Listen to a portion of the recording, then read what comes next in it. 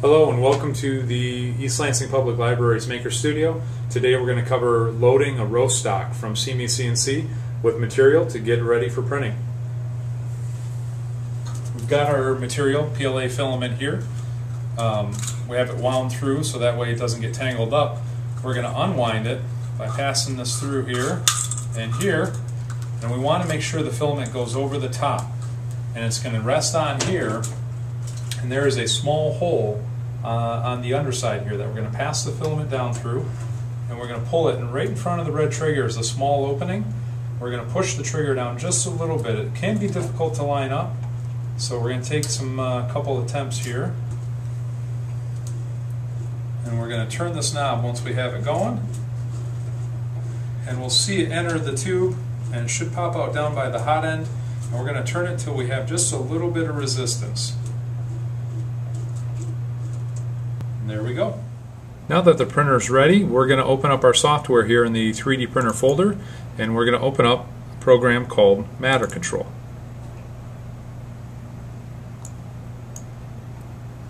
The first thing we want to do is make sure we have the right machine selected. It should say SeeMeCNC row stock. Ours is named the Red Baron. If we need to use another printer, we click on that name and we can switch between other ones that are available. To add a file, we're going to go to the bottom uh, where the add button is and we're going to go into our objects folder and we can type in Lego. And here's the ELPL Lego block that will open up and we can see it here in the center of the preview section.